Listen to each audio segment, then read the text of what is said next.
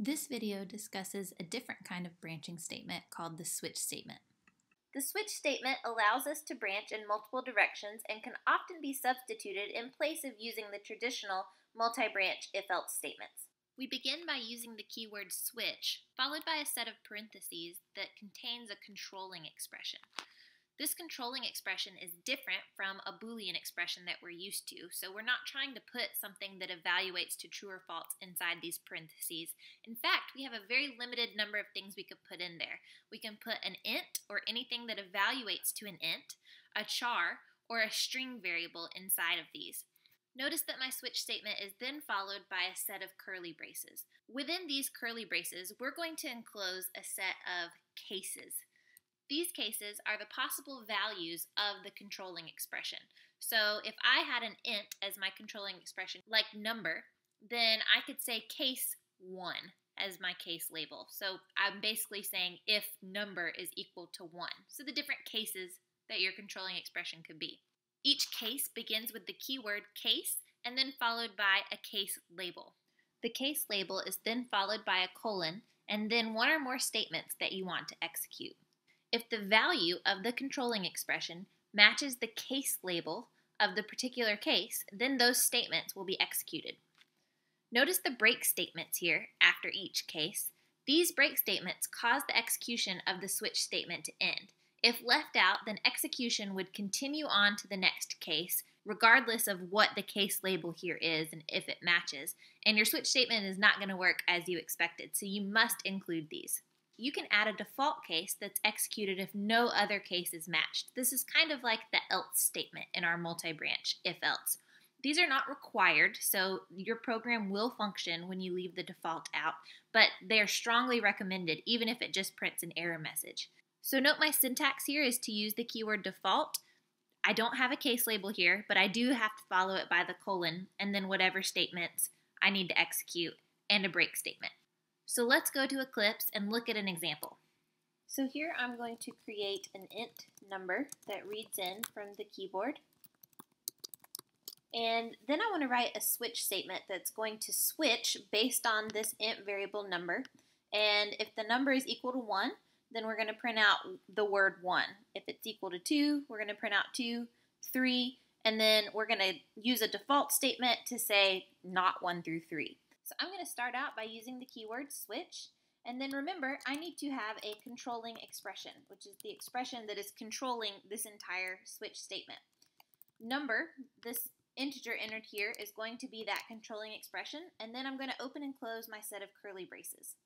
Now I'm going to start creating my cases. Remember the syntax is that I use the keyword case, followed by a case label, which is the condition that we're trying to match with the controlling expression and then followed by a colon. So my first case is that number is going to be equal to 1. So I'm going to say case 1 and system.out.println 1. Now don't forget that you must include break statements in order for this to function as you expect. So must include. And what these break statements do is they're going to end the execution of the entire switch statement. So on to my next case. We're going to say case 2 system.out.println 2 break and case 3 system.out.println 3 break. Now I'm going to have a default statement. So remember we use the keyword default. There does not need to be a case label, but we do need to follow it with that colon. And by default, I'm going to say system.out.println not 1 through 3 something like that. And I'll end it with a break statement here. Now let's run this just to see how it will function. So I'm going to run it with the value of 1. It should print out 1, the text, right? And it does. So the same thing would happen if I were to enter 2, 3, and if I enter any number other than 1, 2, and 3, like negative 75, it's going to say not 1 through 3. So now let's look at what could happen if you do something wrong, because we're not all perfect the first time around. So if I were to leave out a break statement, I'm going to just comment this first one out. If I run this with the value of 2, then it looks like it works just fine, right? So sometimes you can kind of get false positives here. It looks like your program works fine, but you haven't thoroughly tested it because if I were to run it with the value 1 here, let's think what's going to happen. It's going to match that this controlling expression number was equal to 1, so we're going to print out the number 1, but because it doesn't hit a break statement, it's going to continue execution onto here. Note that it does not check the value of this case label here. It's going to continue execution no matter what until it finds a break statement. So after it prints out 1, it's also going to print out 2, then it's going to hit a break and end the statement. So again, if we run it with 1 here, you'll see it printing out 1 and 2. Now the same thing would happen if I removed this break statement, right? If I enter the number 1, it's going to print out everything from when this 1 was matched until it finds a break statement, so all of this. But if I were to enter 2, then it wouldn't go into case 1. It would print out just 2 and 3. Now, let me fix this to where it works as we expect. A good question might be, do I really need this break statement at the very end? Well, if I take it out and I run my program, I can run it with any number. I can run it I can run it with 1 and get the expected value and I can run it with 10 and get the expected value. So you may be tempted to say, yes, we can take this break statement out. But the interesting thing about switch statements is that the order of these statements doesn't necessarily matter. So if I were to take this default statement and move it up to the beginning of my program right here, almost like it's the first case, and run it, if I enter the value of 5, you can see that because I don't have this break statement, it's going to work just like the others. If I did have this break statement, then if I ran it with the value of 5, it would work as expected. So you can put these in any order. Um, you do have the condition that you cannot duplicate cases, so I couldn't down here have another case 3. You see already it's telling me an error, and that error is duplicate case. So you can't duplicate the different cases. So here we're going to practice a switch statement using this char variable called letter. So I created this variable and it gets a string from the keyboard and then takes the first character of that string. And so we're basically just reading in the first character that a user gives us. So we're going to switch on letter as the controlling expression. And so I'm going to start my cases here. So I start with the keyword case. And then let's assume that they're either entering Y or N for yes or no. So case Y so I enter it just like a char here. I do have to include the single quotes. And then my colon, I'm going to say system.out.println, yes. And then I must include my break statement here. And then case in, I'm going to say system.out.println, no, break.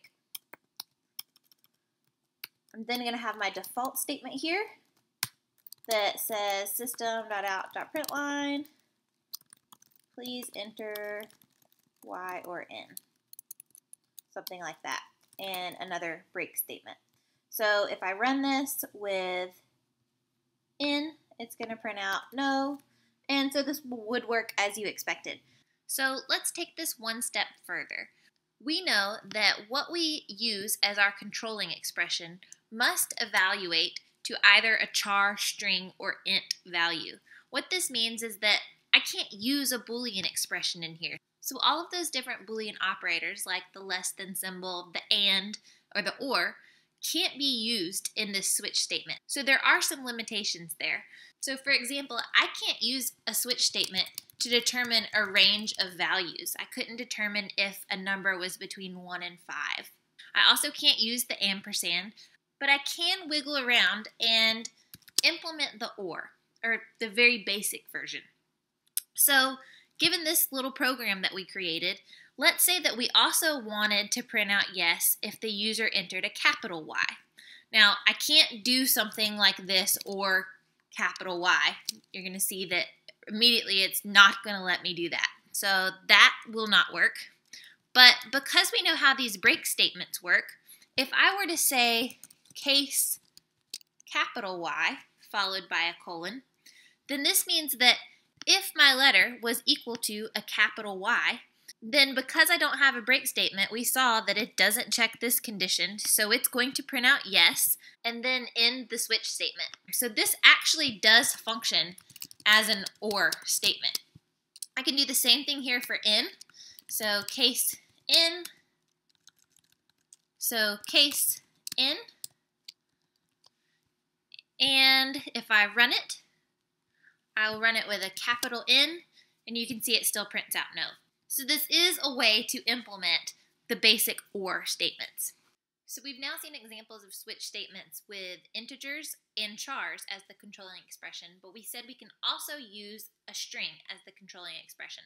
So this is just a small example where I have a string language, and I'm going to switch based on that string variable. Notice here that just like I had to use single quotes with chars, I have to use double quotes for strings. So case English, I'm going to print out hello. I've got my break statement. Case Spanish, I print out hola, break, and so on and so forth. So as an overview about our switch statement rules, we know that the default case is optional but recommended even if it just prints an error message. We know that break statements are required to end the switch statement correctly, but we also know that we can utilize this lack of break statements to implement an OR statement. We saw that we cannot have duplicate case labels that will cause an error, and that the controlling expression must be a constant. Again, it can be anything that evaluates to an int, char, or string. And I say anything that evaluates to an int, char, or string because there's actually one other type that we haven't looked at that will work with switch statements, and these are called enumerated types. These are not discussed until a future section.